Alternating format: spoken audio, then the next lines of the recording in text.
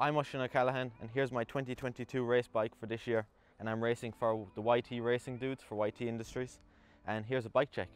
So we've got the 29er YT Tues with Fox suspension, Renthal cockpit. We've got Maxxis DHR2, 2.4s front and rear. Then we've got Tram brakes and Tram drivetrain.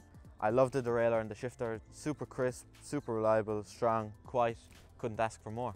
I've got the Crank Brothers Synthesis wheels on this bike, which are something that has some new technology compared to other wheels with 32 spokes in the back, 28 in the front, allowing slightly more flex in the front wheel to get more grip and slightly stiffer in the back. The front wheel is also slightly wider, which allows a different profile of the tyre for more grip. And it's my first year using the wheels, haven't had a problem so far and super impressed.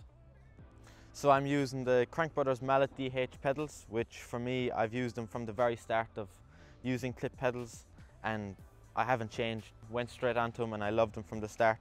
I'm also using Crank Brothers new shoes. There couldn't be a better combo, it's perfect.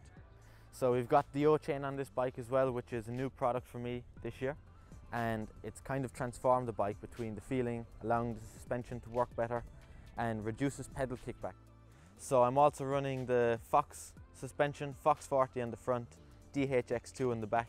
I get lots of questions why I'm running the coil shock on this bike. It's mainly just a personal preference with me uh, liking the small bump absorption more with the coil shock.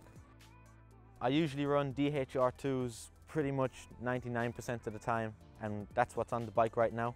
I've gone for the 2.4 width tyre and 24 psi in the front and 26 psi in the back. And I've also got CushCore in.